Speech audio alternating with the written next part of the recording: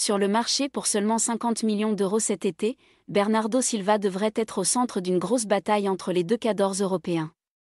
D'après les informations de Catalunya Radio rapportées ce vendredi. Bernardo Silva est sur le point de faire ses adieux à Manchester City cet été, plaçant le FC Barcelone en tête de ses préférences pour son prochain club. Le joueur portugais, qui fêtera ses 30 ans prochainement, a signé un nouveau contrat avec les Sky Blues incluant une clause libératoire de 50 millions d'euros, une somme qui pourrait être accessible pour le Barça s'il réalise des mouvements significatifs sur le marché des transferts cet été.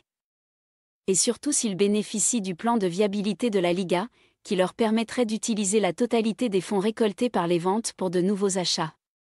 Bernardo Silva, dont la famille réside à Barcelone, donne la priorité à un déménagement en Liga et aux couleurs blaugrana.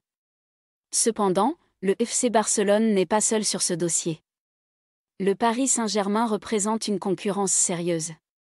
Selon les informations divulguées dans l'émission Tocosta de Catalunya Radio, le club français aurait déjà tenté d'attirer Silva la saison dernière et envisagerait de réitérer ses efforts cet été.